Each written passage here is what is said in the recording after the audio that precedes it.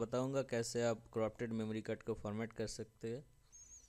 एक card reader में हमने मेमोरी कार्ड लगा दिया और यूएसबी में एंटर किया।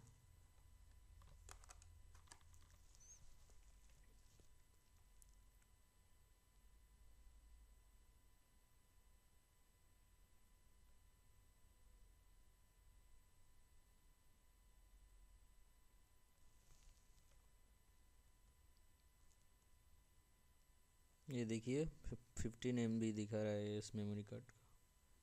ये टू जी का मेमोरी कार्ड है, मगर फिफ्टीन एम दिखा रहा है। पहले आप नॉर्मल फॉर्मेट करके देख लीजिएगा। अगर ये कैपेसिटी लोअर दिखा रहा है मतलब ये अभी यहाँ से फॉर्मेट नहीं होगा। ये sixteen M B sixteen M B दिखाएगा फॉर्मेट करने के बाद भी। तो भी एक बार देख लेता हूँ।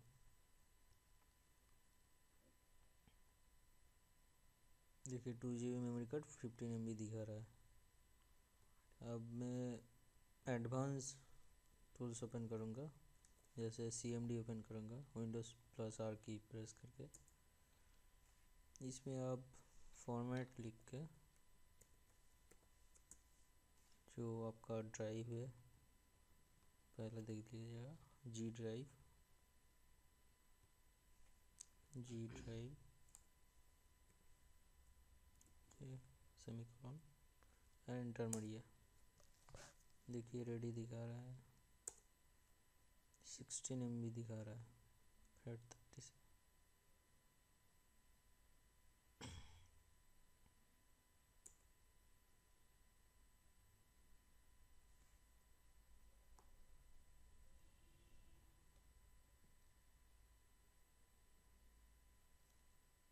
अभी हम मैं कंप्यूटर मैनेजमेंट में जाएँगे।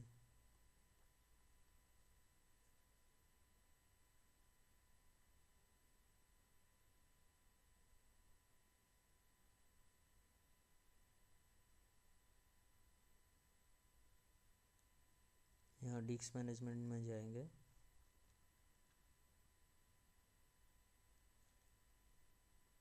और ये देखिए, यहाँ पर जो सॉरी, ये एट जी का मेमोरी कार्ड है और यहाँ seven point one G B sixteen M B primary एक पार्टीशन होकर बैठा हुआ है। तो इसको पहले आप प्रॉपर्टीज़ में जाइएगा और डिलीट दिस वॉल्यूम अनलोकेटेड दिखाएगा, ये भी डिलीट करिएगा।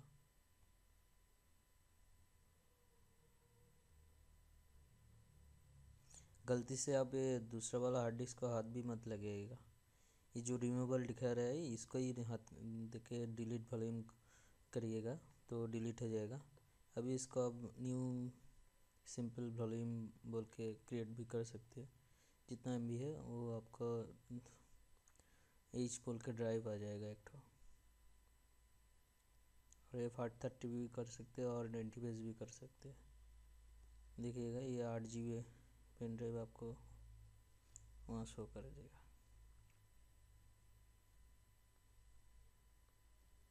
ये फॉर्मेट हो गया न्यू वॉल्यूम बोल के। ये आपका पेन ड्राइव आ गया एट जी बी देखिए न्यू वॉल्यूम बोल के। इसको आप रिमूव करिए।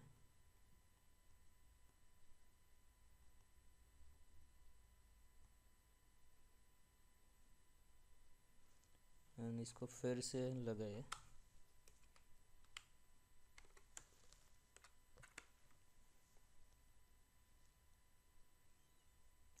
तो ओके दोस्तों, ये फिफ्टीन एम दिखा रहा था ये पेन ड्राइव ये पेन ड्राइव नहीं, ये सॉरी मेमोरी कार्ड है माइक्रो एसडी कार्ड है, जो अभी सेवन पॉइंट वन जी दिखा रहा है।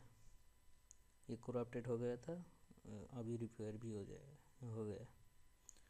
थैंक्स फॉर वॉचिंग और आगे भी देखते रहिएगा ऐसा वीडियो। मैं इस चैनल में दोबारा पोस्ट करते रहूँगा।